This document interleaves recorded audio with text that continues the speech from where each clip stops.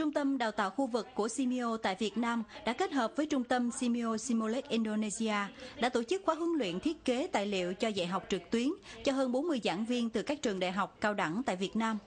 Học tập trung vào việc thiết kế tài liệu giảng dạy, chuyển đổi tài liệu thông thường sang định dạng phù hợp cho dạy trực tuyến và kỹ thuật quay, xử lý video trong phòng mini studio giúp xây dựng giáo trình trực quan. Với sự tham gia của nhiều giảng viên có kinh nghiệm nên khóa học được kết hợp nhiều phương pháp giảng dạy sinh động như thuyết trình, thảo luận, trình bày nhóm. Năm nay, khóa học đi sâu hơn về việc thiết kế nội dung học tập để sử dụng trên trang e-learning. Người học được thực hành trực tiếp trên máy tính, giảng mẫu.